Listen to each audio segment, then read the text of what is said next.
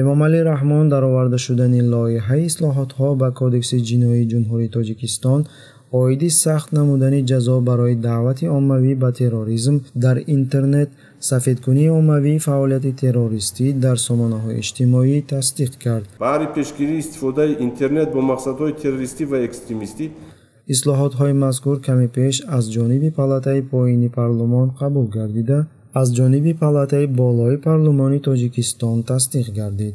Дар ин хусус санаи 4 август хадамоти матбуотии раисҷумҳур иттилоъ дод.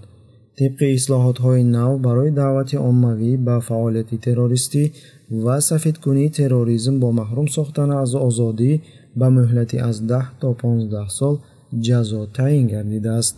Ана бо ходи сари суша ҳамаи коро сохта кард. Яна фармоиши кору бояд ки амна турма кунанд айва чӣ фарзанд орохӣ се чор соли охир дар тоҷикистон барои лайк ва репост намудан дар сомонаҳои иҷтимоӣ якчанд шаҳрвандони кишвар ба муҳлатҳои тӯлонӣ маҳкум гардиданд.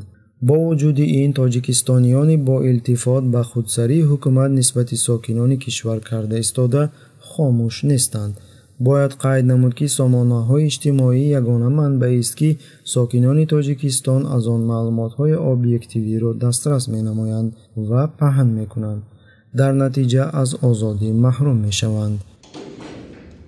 Иштироки шаҳрвандон дар задухӯрдҳои мусаллаҳона дар ҳаёти ташкилотҳои террористӣ панҷ маротиба кам гардид. Ёдрас мекунем ки ҳолатҳои даровардани ислоҳотҳои мазкур ба кодекси ҷиноии ҷумҳурии тоҷикистон якумин бор нест тӯли даҳсолаҳо аст ки аз тарафи режим ба кодекси ҷиноӣ иловаҳои гуногун нисбати мубориза алайҳи гӯё терроризму экстремизм дароварда мешавад ва барои хадамоти махсус имконияти васеъ барои шарҳ намудани нормаҳои қонун дар решакан намудани дигарандешӣ ва пешгирии садди роҳи бедории исломӣ шароитҳои фароҳам пайдо мегардонад. Қад намудани истифодаи системаи инжен чӣ хеле ки шумо